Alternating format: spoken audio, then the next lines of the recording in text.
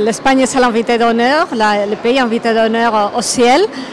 Et nous sommes très heureux, c'est un honneur pour notre pays d'être ici et d'avoir une excellente occasion de présenter un panorama de la littérature espagnole d'aujourd'hui et aussi de montrer les liens euh, culturels très importants qui existent entre la littérature du Maroc et la littérature espagnole.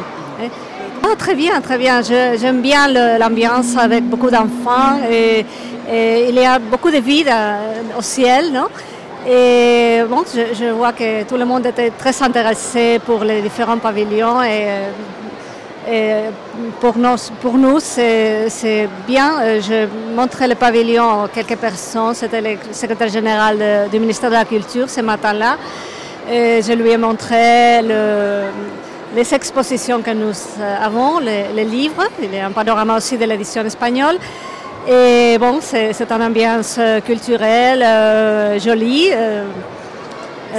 Convivence. Merci. نعم هذا هذا جناح جائزة محمد الساسي للخط المغربي. يعرف بالخط المغربي يعني القليل من يعرف الخط المغربي.